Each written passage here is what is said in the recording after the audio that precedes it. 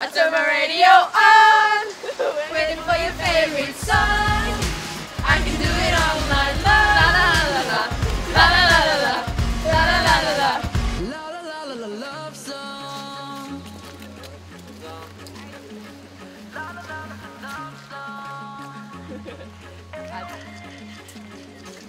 I dag så skal vi ha vår første lille showcase med, med noen av våre sanger. Og noen coverlåter. Der er det. Ja, i dag så er det jo den 14., og da er det Valentine's Day. Så da er det veldig Valentine's-tema i dag, og det kommer jo vi boyband-gutter til å spille masse på.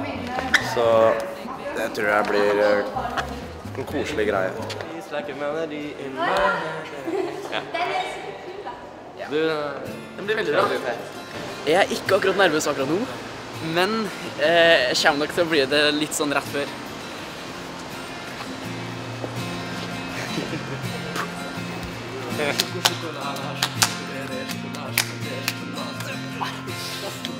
Nå er dette vårt første, første stå sammen på scenen, da. så vi har jo ikke, vi har ikke noen rutiner og noe, noe å gjøre. Men eh, jeg sto i hvert fall veldig opp Jeg sto opp eh, veldig tidlig, eh, for jeg var eh, nervøs. Køller ikke skoa engang. Liksom.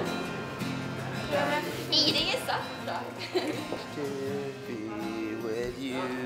Moonwalk down the boardwalk, baby.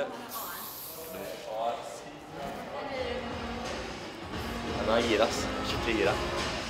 Og veldig nervøs.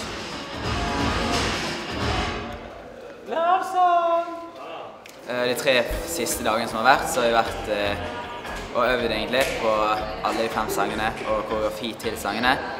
Og så egentlig bare øvd på hvordan vi skal være mot fansen da, og litt sånn. Så når vi våknet i dag tidlig, så var det veldig vanskelig å sove igjen fordi at vi var så sykt spente. Og ja, det kommer til å bli skikkelig, skikkelig bra. Får meg litt. Det er ikke så mye energi i det her, kanskje. Har du lapper? Det er eneste jeg har spist på mange timer, og det er egentlig veldig dumt.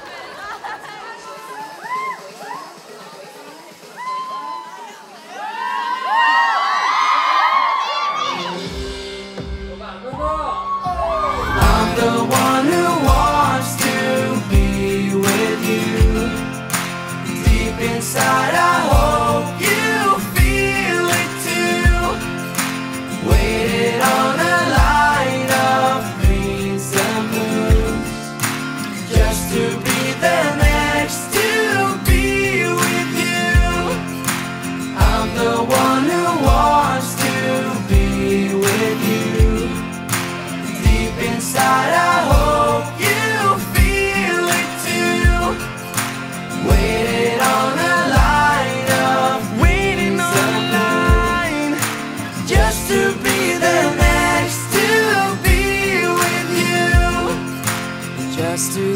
there next to be